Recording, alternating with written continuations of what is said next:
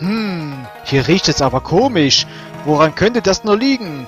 Wahrscheinlich an den neuen Partner von Laila. Tja, nachdem wir quasi im letzten Part ja tragischerweise und wirklich auf unfairester Weise Hachi verloren haben, ist ein neuer Partner für Laila eingesprungen, der sich gedacht hat, ich muss jetzt Laila beschützen.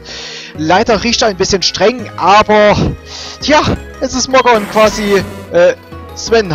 Ja genau, so, so habe ich dich getauft. Und ja, das Item, das kannst du gerne bei dir behalten, interessiert mich nicht. Das ist eh nur irgendwelcher Schnickschnack von vorn bis hinten, interessiert mich mal ganz und gar nicht. Ja, ich habe mich für Sven, für das Smogon mich entschieden. Das wird quasi jetzt der neue Lebenspartner von Leila werden. Hoffentlich vertragen sich die beiden untereinander. Ich habe natürlich offscreen noch ein klein wenig trainiert. Alles so auf Level 20. Bis auf Mike hat ja schon Level 21 ja schon längst erreicht. Denn ich denke, es ist wäre, also es ist jetzt schon mal so an der Zeit, mal so ein gewisses Level-Limit für mich zumindest mal zu setzen, was hier quasi die Gleichberechtigung von anderen betrifft. So, Sven selbst er ist natürlich sehr scheu diesbezüglich, das wissen wir bereits.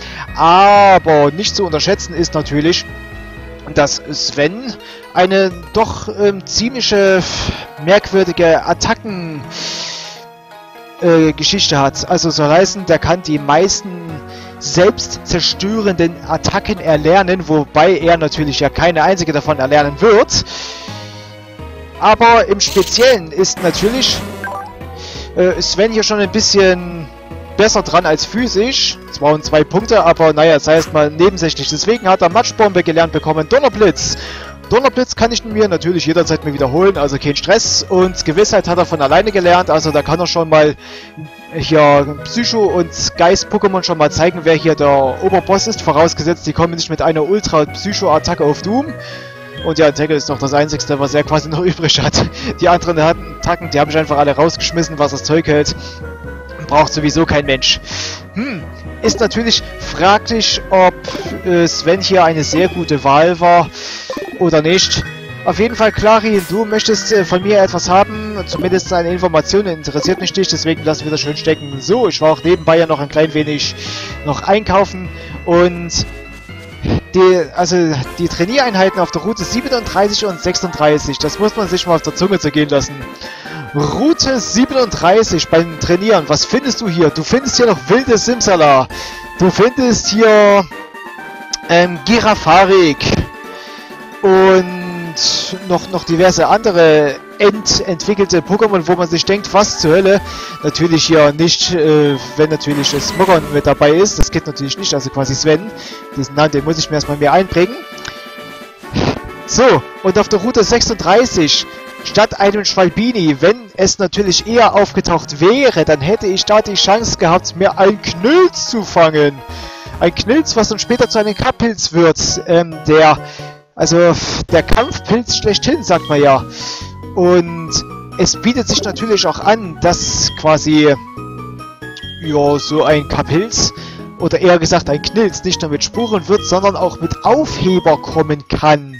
Und das bedeutet natürlich dann Holler die Waldfee. Demzufolge machen dem dann so gut wie keine ähm, Statusattacken irgendwelchen Sinn, glaube ich. Oder war das nur bei Vergiftung, was ihm da keinen Schaden macht?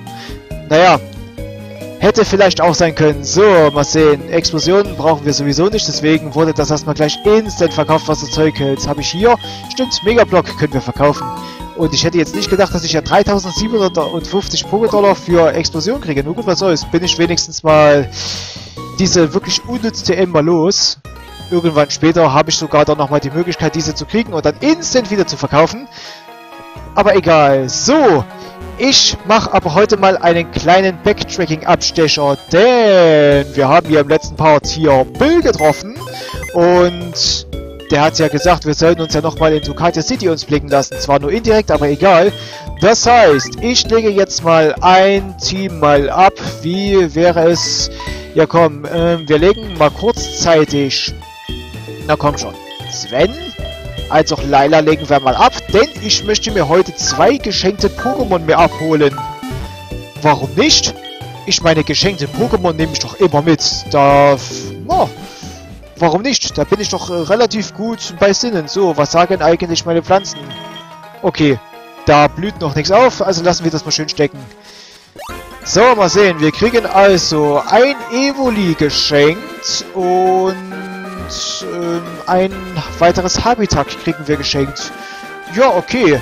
Geschenkte Pokémon dürfen hier wie gesagt behalten werden, also bin ich diesbezüglich nicht abgeneigt, diese beiden Geschenke anzunehmen. Ach stimmt, warte, ja, hm. Jetzt habe ich ja keinen Zerschneider bei mir, warte, wer könnte denn zur Not, nur zur Not, denn noch Zerschneider erlernen? Das könnte... Nur? Ach nee, Peter, dir, dir, dir habe ich den Zerschneider gegeben. Ich dachte... Ach nee, Harry habe ich doch gar nicht Zerschneider... Hier habe ich doch gar nicht Zerschneider gegeben. Konnte er doch sowieso nicht lernen. Stimmt. Ja, okay, das war eine leichte Fehlinterpretation von mir. Aber na gut, was soll's. Nehmen wir einfach mal so in Kauf, nicht wahr, liebes Weberack? Ey, wie gut, dass du hier nicht gekommen bist. Äh, ja, Weberack, das wäre auch so ein richtiger Zonk gewesen. Klar, Ariado später, okay, kann ich schon bemerkbar machen. Oh, Ninja Tom, Hallöchen. Soll ich dir mal was sagen? Wenn du ein Geschlecht hättest, dann könnte ich dich fangen wollen. Andererseits, warte mal, du bist Käfergeist und das heißt, äh, ich kann Biss einsetzen. Deine Wunderwache nützt dir mal absolut gar nichts. Genauso wenig wie dein 1 KP. Deswegen, wie viele Erfahrungspunkte? Naja gut, 162 ist jetzt nicht groß in die Welt. Aber hui, Ninja Tom findet man auch hier. Da bin ich ja jetzt immer noch am überlegen, was wäre eigentlich, wenn ich irgendwann mal das Ninkata mal reinnehmen sollte. Wobei, was für ein Geschlecht hatte der gleich nochmal weiblich oder was männlich? Hm, hm. Weiß ich jetzt nicht mehr auf Anhieb. Jedenfalls... Ähm... Habe ich den Faden verloren. Verdammt, was wollte ich sagen? Ach, stimmt. Ähm... Sollte es sich für mich natürlich dann die Gelegenheit geben, einen Pokéball noch bei mir zu haben und dann noch ein freies Teammitglied, dann kriege ich ja sowohl Ninjask als auch Ninja Tom. Dann stelle ich mir natürlich die Frage, was würde ich dann mit diesem entwickelten Ninja Tom dann machen? Ich glaube, ich würde es, naja, auf die Box legen oder aus Kulanzgründen freilassen oder was auch immer, weil Ninja Tom, okay. Käfer, Geist hat dafür fünf Schwächen und mit Wunderwache ist es immun gegen sämtliche anderen primären Attacken, außer irgendwelchen Status-Attacken, aber naja, gut. So, Evoli, was wollen wir dir denn für einen Namen geben? Ein weibliches Evoli. Mal sehen. Habe ich im Übrigen irgendwelche Evolutionssteine? Ich glaube an sich nicht. Also mit Evoli muss man behutsam umgehen. Insbesondere was dann auch die äh, Evolution dann betrifft. Momentan stehen mir ja fünf Evolutionen mehr zur Verfügung, aber sei wie es sei, Haferbrei. Ähm, dir gebe ich den Namen... Ähm...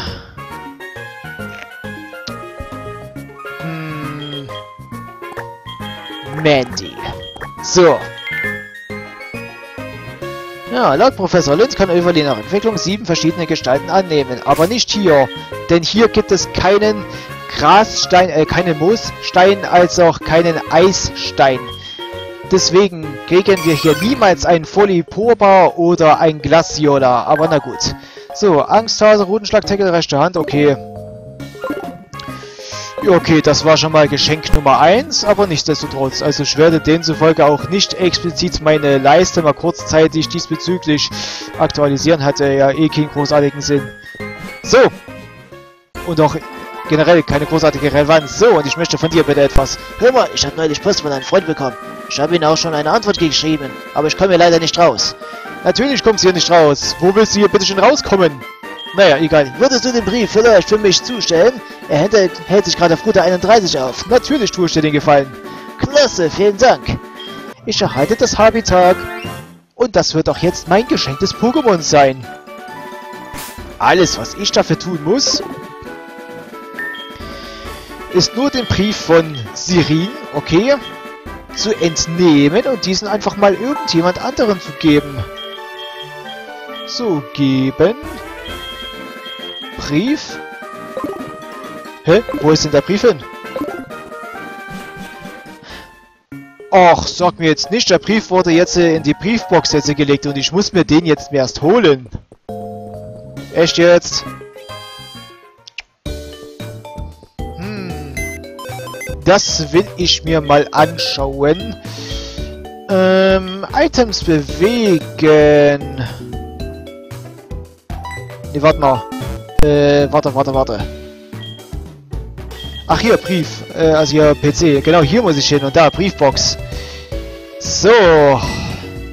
Was soll mit dem Brief geschehen? Ich gebe den mit. Und zwar gebe ich den Mandy. So, Mandy wird demzufolge jetzt diesen Brief bei sich tragen. Und demzufolge habe ich demzufolge noch ein weiteres geschenktes Pokémon. Tralali, tralala, warum nicht? Also machen wir uns doch nochmal einen kurzen ja, Umweg auf Richtung Route 31 auf, wie ihr ja diesem Herrn hier mitgeteilt wurde. Und dann kriegen wir noch unsere geschenkte TM. Ich glaube Erholung, eine gute Erholung. Pff, wüsste ich jetzt nicht, äh, zu welchem Sinn und Zweck ich Erholung bräuchte. Also lassen wir es erst einmal weg. So, was kommt denn jetzt hier so Feines rein? Wir haben schon wieder einen Ninja-Turm. Ey, kaum ist es Nacht und schon kommen hier die ganzen unschuldigen Bengel hier zu, zu Gesicht oder was. Na gut, was soll's. Ja, da kann wenigstens ähm, Giselle hier mal zeigen, was dieses Ninja Tom so drauf hat. Nämlich gar nichts, außer Zackbelag. Naja. Hallo Ninja Tom, du möchtest mich gerne unbedingt weiter nerven. Aber weißt du was? Ich werde dich einfach mal schön wegbeißen. So, Tschüssikowski, Ninja Tom. Hm. Ninja Tom, das macht schon was her, aber naja. Sag mir jetzt nicht, es kommt vielleicht noch Wein, Ninja Tom. Hui, Menki hätte ich ja auch noch kriegen können. Ey, so ein Menki wäre hier doch richtig Knorke gewesen. Also ganz ehrlich, so ein Menki, warum nicht? Da hätte ich jetzt äh, gesagt, yo, nehme ich. Vorausgesetzt, es wäre auch wirklich äh, als allererstes gekommen. Naja, gut. Nehmen wir halt eben in Kauf. Fertig. Aber vielleicht kriege ich ja noch irgendwann irgendwo ein weiteres Menki. Fragezeichen. So, eventuell. Ich weiß nicht. Kann sein. Fragen über Fragen. Wir werden es wohl nie erfahren. So, Route 31. Ähm, ich glaube, ich werde doch mal zeitweise nochmal das Fahrrad nochmal nehmen. So, registrieren. Und aufsteigen. Ich habe jetzt echt keinen Bock, jetzt die ganze Zeit jetzt hier zu rennen. Zumindest klar, mit dem Rennen bin ich ja weiter schneller als natürlich mittels, ja, ohne Rennen, aber, naja, gut. Sind wir doch mal ehrlich, die Bequemlichkeit, die holt uns doch irgendwann mal ein. Nicht wahr? Ich will was lesen was jemand auf Papier geschrieben hat. Ein Brief oder so. Natürlich, hier, Mandy! Oh hey, das ist ein Brief von meinem Bekannten. Oh, dieses Pokémon könnte jemand anderem. Ja, mir zum Beispiel. Hier, nimm es zurück. Ich übergebe dir nur den Brief, Dankeschön. Mal schön. Äh, vielen Dank für deinen Brief. Unser Abenteuer war spannend. Aber mit diesem Super kann ich mich da immer nicht anfreunden. Das steht da. Ich habe vor kurzem mit ihm eine Exposition in der Dunkelhöhle gemacht. In dieser Höhle gibt es der direkte Weg zu einem anderen Weg. Ach stimmt, Dunkelhöhle. Muss ich auch nochmal lang, sobald ich Stärke habe. In Ordnung, dann möchte ich mich dafür revanchieren. Hier, das ist für dich. Die TM44 enthält... Oh, oh, ah, Erholung. Sie erhält natürlich die Attacke Erholung. Äh, so erlaubt äh, deinem Pokémon äh, ja, sich eine Münze verschlafft zu nehmen und teilt sie auf diese Weise seine KP. Holger, was willst du? Du kommst gerade ungünstig, aber egal. Guten Abend, noch wach? Meinst du, Billigkeit will immer stärker? Genau wie ich sprechen habe. Übrigens, gestern kam mir ein wildes Toxiquack. Stimmt, Toxiquack, genau, das gibt's auch noch auf der Route 36. Wilde Toxiquack-Grillen da noch auftauchen. Und klar, okay, so ein Toxiquack wäre an sich auch nicht verkehrt gewesen. Ich meine, so einen giftigen Kämpfer, schön und gut. Aber die Vierfach-Schwäche in Sachen Psycho... Ne, nein. Einfach nur nein. Und das aus gutem Grund. Also... Äh, ich würde mich da schon ein bisschen sehr hüten wollen, ein Toxiquack zu haben oder generell, naja, zu trainieren. Oder auch dessen Vorstufe Klibunkel. Naja, sei wie es sei. So, unser Team haben wir wieder zurück und... Ja, komm. Wir fahren jetzt noch ein bisschen Fahrrad und ich glaube, ich hole mir jetzt noch eine weitere TM. Äh, nee, nicht TM, eine VM. Und ich glaube, dann mache ich gleich nochmal zurück zur Dunkelhöhle. Würde ich zumindest sagen wollen. Oder doch? Oder nein? Oder doch? Ach, ich werde es ja gleich sehen. Oder mich zumindest gleich dafür entscheiden. Auf jeden Fall. Hallo Anurit, dich hätte ich hier auch kriegen können. Aber Anurit... Ach komm, weil du es bist. Zertrümmer, los geht's. Du bist sogar noch sehr schnell, das soll mir fast wiederum egal sein. So. Okay, macht normalen Schaden, aber komm hier, ein weiterer Zertrümmer und du bist eh Geschichte. Da kannst du auch mit deiner Aquaknarre kommen. Juckt Giselle mal ganz und gar nicht. Hier, ein Zertrümmerer und tschüss. Haha. Ach, das macht Spaß. Und zwar in vollen Zügen. Und, was kommt jetzt noch? Egal, was kommt. Nicht wahr, Hut Hut? Vor dir habe ich jetzt keine große Bedenken zu kämpfen. Deswegen hau ich ab. Keine große Bedenken, deswegen hau ich ab. Ja, das war jetzt ein bisschen leicht widersprüchlich Paranoia, aber sei wie es sei, vorbei. Es hat sich jetzt einfach mal so ergeben, weil ich es gerade unbedingt so wollte. Denn ich wollte unbedingt wissen, ob ihr eigentlich auch so fein aufpasst für das, was ich hier sage. ja, okay, das war die Standardausrede Deluxe, aber naja, sei wie es sei. Ähm, ich will jetzt der Trümmerer, würde ich sagen. Nee, ähm, Stärke haben. Denn ich möchte sehen, wer kann Stärke erlernen und wer ist in der Lage, Stärke auszuüben. Route 42, im Übrigen auch eine komplett neue Route. Vielleicht nehme ich mir da diese mal ein andermal vor. Auf jeden Fall, dich wollte ich haben. Oh, das tut mir jetzt wirklich leid. Das habe ich doch glatt einen passierenden Trainer umgerempelt. Bist du auch nicht verletzt? Hier, nimm das als Wiedergutmachung. Und jetzt seid tapfer und weine nicht. VM04. Sehr schön. Die Attacke der Rennlense Stärke. Wenn du sie einen deiner Pokémon beibringst, kann es damit störende Felsen aus dem Weg räumen. Nicht schlecht, oder? In Ordnung, ich dir noch einen angenehmen Aufstieg. Natürlich. Das habe ich gewollt, das habe ich gebraucht, das habe ich gesucht. So, Stärke. Preisfrage. Wer kann Stärke erlernen? Ähm, wo habe ich denn Stärke? Achso, stimmt, VM. deswegen ziemlich weit hinten. Dienst Legit. Das könnte bestimmt Peter erlernen. Ja, Wolski, Peter. Du wirst Stärke erlernen und ich glaube, dafür hauen wir... Obwohl, warte mal, du hast ja schon Zerschneider schon hier drin. Hm, also entweder haue ich Kratzer raus... Oder Gena oder Takedieb oder springe es gar nicht. Äh, ach komm, hier, Kratzer kann weg. So, 1, 2 und schwupp. Kratzer vergessen und erlerne Stärke. Perfekt. Ach, ist das schön. Und was haben wir hier für ein Item? Gigastoß. Ja, okay, gut, aber Gigastoß, das äh, werde ich mal überhaupt niemandem beibringen. Das werde ich höchstens verkaufen. Okay, gut, dann mache ich jetzt mal hier einen kleinen Schnitt und dann sehen wir uns gleich vor dem Eingang der Dunkelhöhle wieder. Also bis gleich! Pokus, und ehe man sich versieht, bin ich hier vor dem Eingang der Dunkelhöhle. Na gut, wir waren ja schon einmal hier drin und haben natürlich hier Peter gefunden. Deswegen soll es mir mal vollkommen egal sein, was hier gegebenenfalls noch auf uns hätte kommen können, denn Schutz des Glücks macht schon erst einmal den ersten Streich und der zweite folgt mit Laila zugleich. Also, Laila, setz doch mal bitte deinen Blitz ein.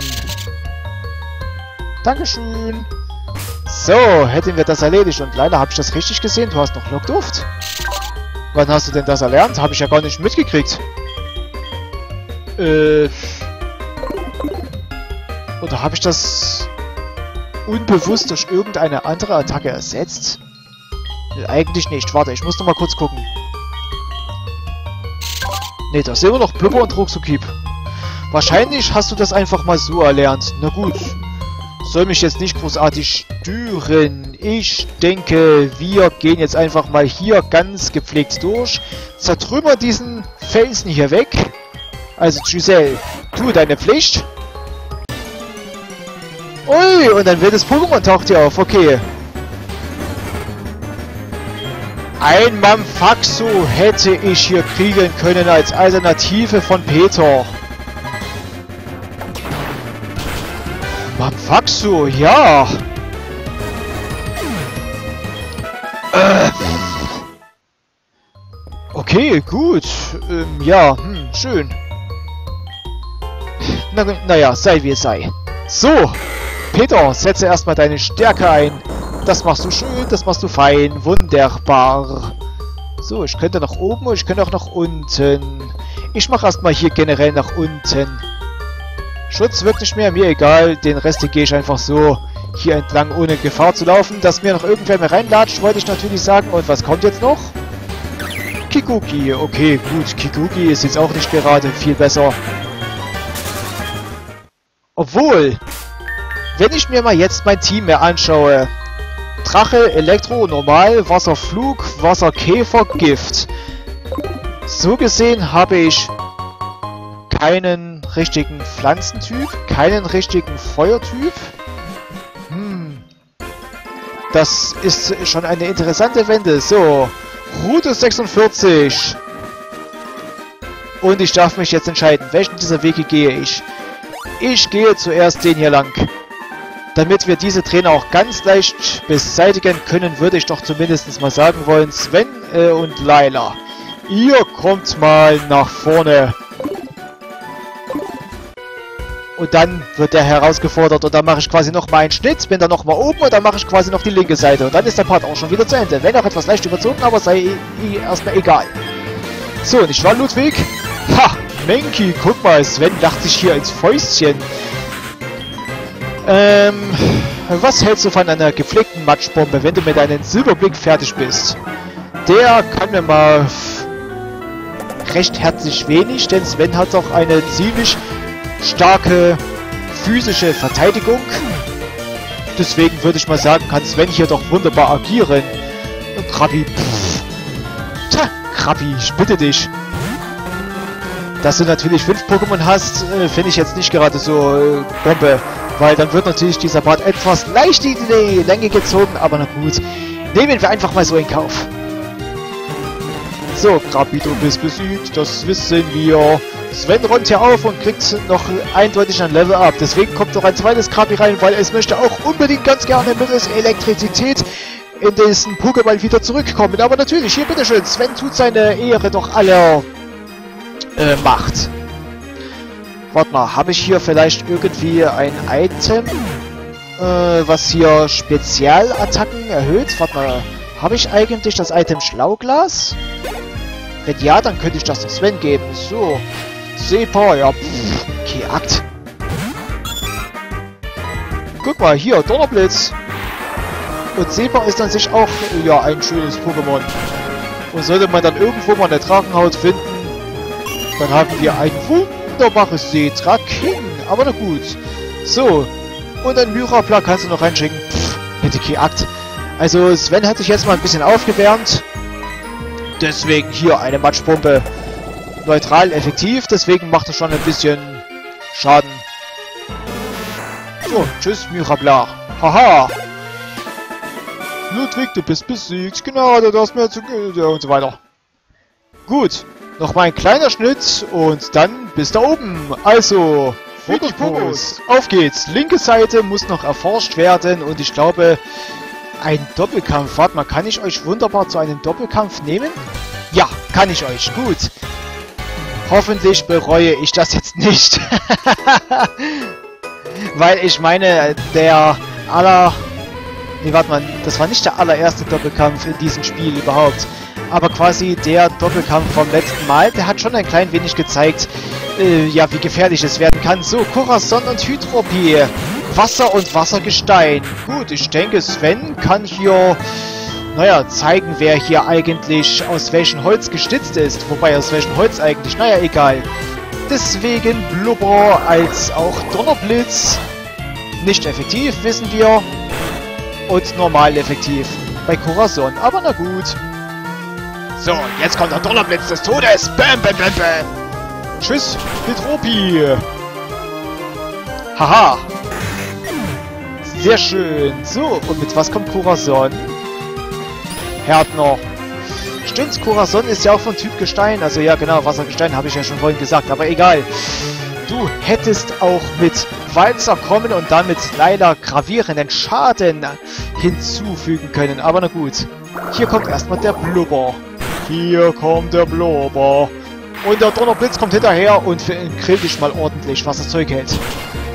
Deswegen, Corazon, tschüss. Haha. Kommt jetzt noch einer rein? Natürlich. Achso, ja, Tauboga. Na gut, Tauboga will ich nicht unterschätzen. Ich meine, es kann hier bestimmt schon ein Flügelschlag und das wird leider... Hm. Also müssen wir mal sehen. Wahrscheinlich blitze ich dich. Ach, Adlerauge. Okay, so viel zu meiner Annahme von äh, Blitz und so. Okay, und du hast auch nicht Flügelschlag, sondern nur äh, Windstoß. Ich dachte, du hättest Flügelschlag gehabt. Egal. Tauboga, du bist Geschichte. So, sehr schön, sehr schön. So, ihr beide seid besiegt. Was? Natürlich. Nein, das ist so ein Niedrigend. Tja, mir egal. So, diese Niederlage war schwer ein Schlag für mich. Ich muss nochmal gegen mich, äh, gegen dich anstrengen und so weiter. Gib mir deine Telefonnummer, ich will nochmal gegen dich kämpfen. Aber natürlich. Das machen wir doch sehr gerne. Ach, nö. Ruf mich an, wenn dir nach einer neuen Herausforderung ist. Und was ist, wenn ich jetzt dich einfach jetzt hier anrufen wollte und so? Ich meine, Sven hat bestimmt nichts dagegen oder so.